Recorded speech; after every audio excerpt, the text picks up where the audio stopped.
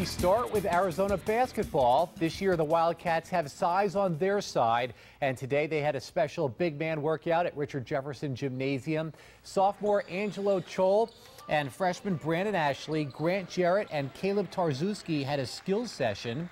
Teams are only allowed to work out in groups of four. This is Tarczewski. It's the first time we've seen the Wildcats since their Bahamas trip a few weeks ago. The last couple of years, Arizona has been outsized by its opponents. That won't be the case this year. The four players are six foot eight or taller.